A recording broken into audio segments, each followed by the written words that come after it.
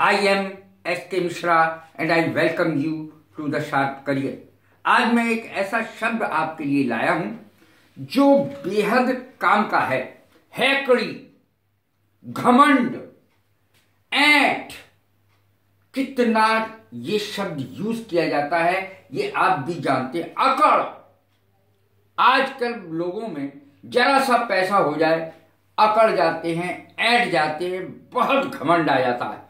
ऐसे ही शब्दों के साथ में आया हूँ, जो आपके बहुत काम के हैं। तो सबसे पहले हैकड़ी की अंग्रेज़ी सुन लीजिए, हैकड़ी। लगभग एक ही अर्थ रखते हैं ये, घमंड, अकड़, ऐठ, हैकड़ी, ये सब एक ही अर्थ रखते हैं लगभग। मैं तुम्हारी सारी ऐठ निकाल दूँगा। सारी हैकड़ी निकाल दूँगा मैं तुम्हारी। देखें इसकी अंग्रेज़ी। I shall knock all arrogance out of you मैं तुम्हारी सारी हैकड़ी निकाल दूँगा।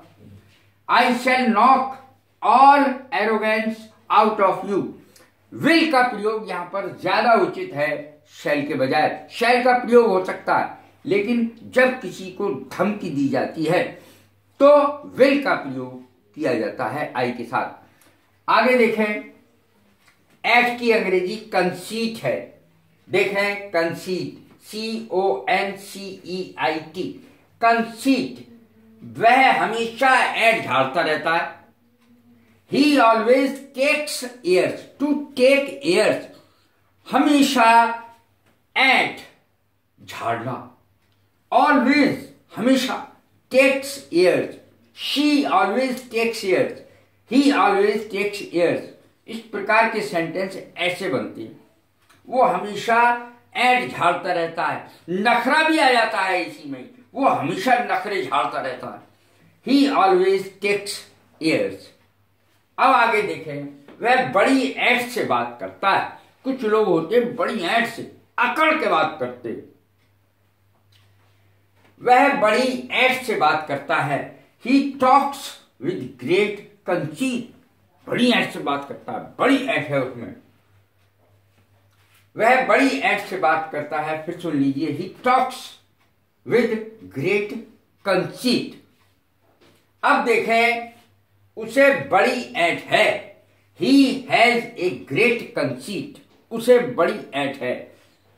ये अगर स्त्री के लिए कहा जाएगा तो ही की जगह शी आ जाएगा। उसे अपनी सुंदरता पर बड़ी ऐठ है।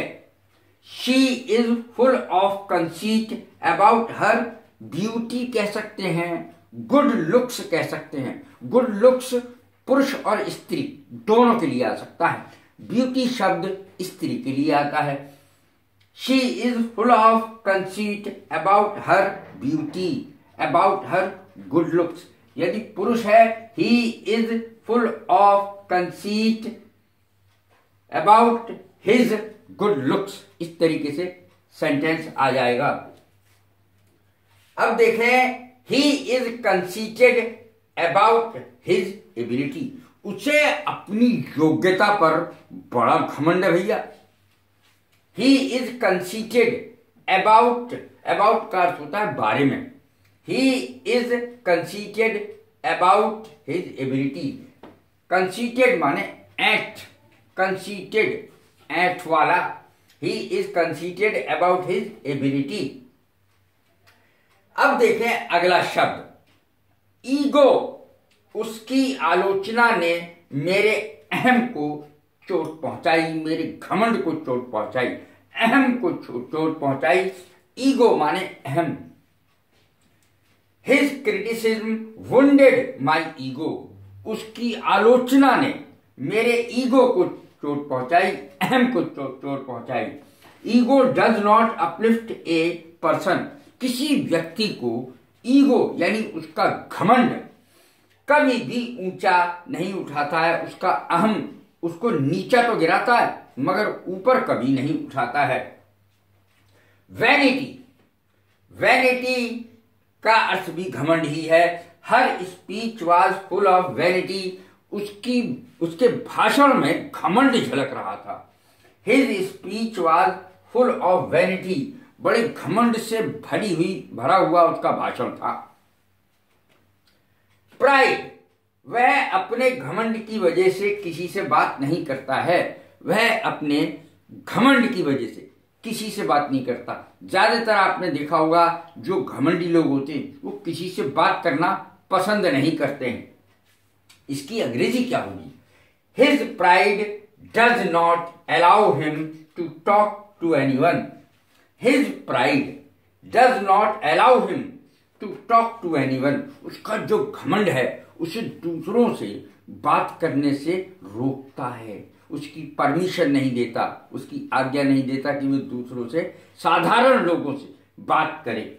हिज प्राइड प्राइड माने होता है घमंड does not allow him permission नहीं देता है, आज्ञा नहीं देता है टू टॉक टू एनीवन किसी से बात करने की।